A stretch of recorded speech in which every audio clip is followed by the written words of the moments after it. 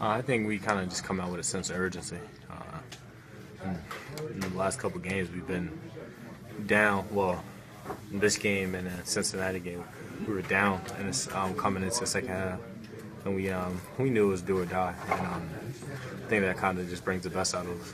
You had a crazy sequence there. You had a turnover and a steal and getting it back. What was it like the last, kind of hold on the last couple minutes? Uh, it was it was tough because they they had um had their big man on the ball, so they were able to kind of push us to the corner and trap us, and um, we kind of fell into it. But at the same time, I was able to get the ball back and kind of go to go to the free throw line and knock him down. Does it feel to get the first NCAA win? So this feels nice. It feels nice. Um, freshman year, I went and we um, got bounced by Cincinnati in the first round, but now to be able to kind of go to the second round and have a chance at um, moving on, it, it feels good. We heard that, that you were outspoken at halftime saying just